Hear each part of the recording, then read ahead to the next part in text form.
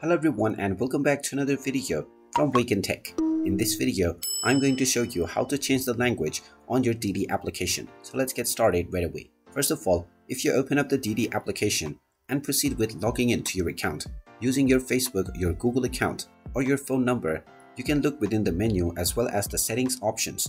However, you will not find an option to change your language. So if you wish to change your language within the DiDi app, you will need to change the language for your entire phone itself. In order to do this, open up your phone settings and then tap on the search box and then type in language and start your search. Now tap on app languages and now you can tap on the app language option in order to set up the language for each app. This will now open up the app list from which you can tap on the search box or scroll down to search for the DiDi app. If the DiDi application does not appear here, then you will need to change the language for your entire phone. Tap on the language option and now choose your desired language from the list of available languages. You can also tap on add language in order to add any language that you wish to change into.